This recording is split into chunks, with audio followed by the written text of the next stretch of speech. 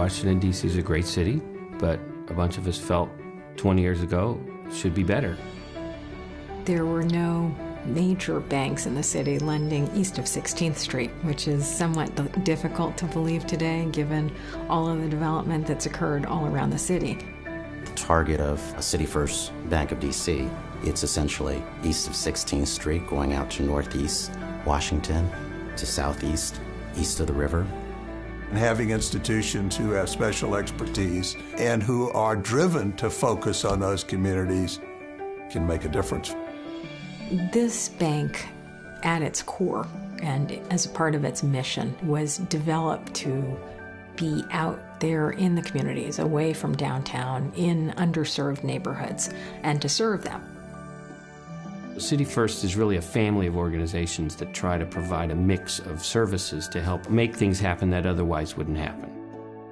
So we're funding these small businesses, the health clinics, the charter schools, and the developers that are producing affordable housing, rental, or ownership within these communities. That's where we do our work every day. The bank, by bringing capital into smaller developments, be it retail, be it office, be it multifamily, for sale housing, makes a huge difference in these neighborhoods. If you think about this city, there's this great undiscovered middle uh, where there are viable businesses, where there are people that are capable of purchasing a home and starting to build wealth. What City First enables us to do is to tap into that. It's just extremely important work, work we love, and the work that truly makes a difference in people's lives.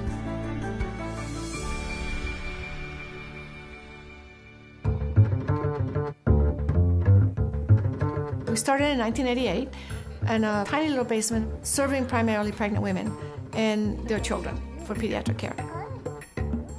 We started with about 300 women, and today, 25 years later, we have about uh, 35,000 people that we serve. What we built here was a state of the art center that allows housing, it allows health services and social services and education all in one building. City First was actually the convener of all these folks that were able to bring the lending to Mary Center besides the city money. Without that, we would not have been able to, to really get this, this project underway.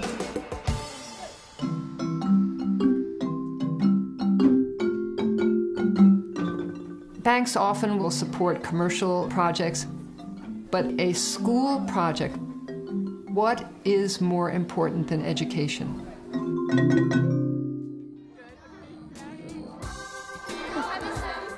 City First has been a partner with E.L. Haynes since even before we opened. The first check we were supposed to get was shy of $250,000. Since we'd never been open before, we didn't have any more money. The sun, which is big and far away, also City First came to our rescue and gave us a line of credit. From that moment on, I was smitten. We had no athletic facility or fields and barely enough room for classrooms. We have been on five different campuses in our history. We are now all together for the first time on one campus, and we couldn't have done it without City First Bank. City First Bank provided us with a New Markets tax credit that is going to save us millions of dollars in repaying the loan.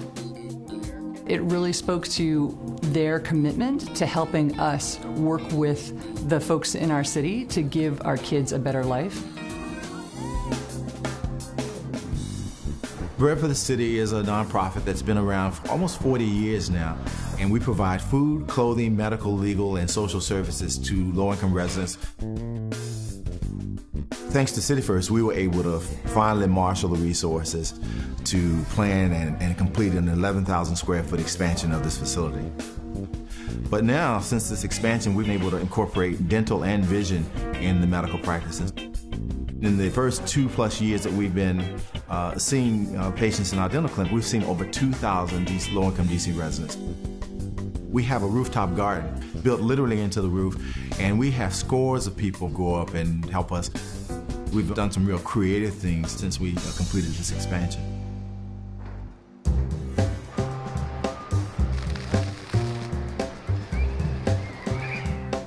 We came into this neighborhood wanting to be in um, a neighborhood that was growing, and of course, this neighborhood has changed tremendously over the years. We went around to many different banks, and City First was the bank that actually sat down and talked with us. And ever since then, they've been our bank. They've been a huge partner in helping us to, you know, grow. Now we're at four stores. Anytime we open up a, a, new location, we bring 30 to 50 employees per store. Looks really good. We love to be able to offer employment and create jobs. We've got folks that have been with us from day one. The city of Washington is going through a major transition. Market rate housing is developed in every single corner of the city, and affordable housing is very much difficult to produce. Without the participation of the bank, we wouldn't be able to afford to purchase Selma apartments. I work for Metro.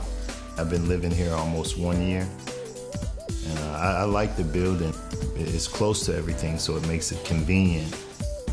It, it's affordable. It's just, it's fair. It's, it's what rent should be. I can, you know, I can make it here, you know what I mean? We want to grow in a partnership with the City First Bank.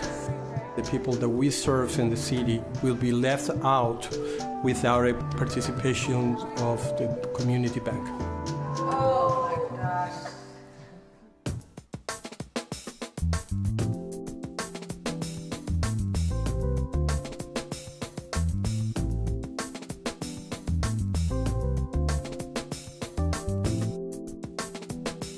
You can barely drive down a street and not be able to pick out a building that City First Bank has financed. You know, there are people who believe that uh, in order to make a profit, you need to be exclusively focused on shareholder value. Um, we didn't believe that. We can count a billion dollars of capital directed towards low and moderate income communities. We're really proud of the role we've been able to play with all these partners to try to help DC become a more fair, just, open city. The future of DC comes from the neighborhoods. Our ability to have these interesting, eclectic, diverse, and varied spaces. City First has enabled this focus on neighborhoods to happen.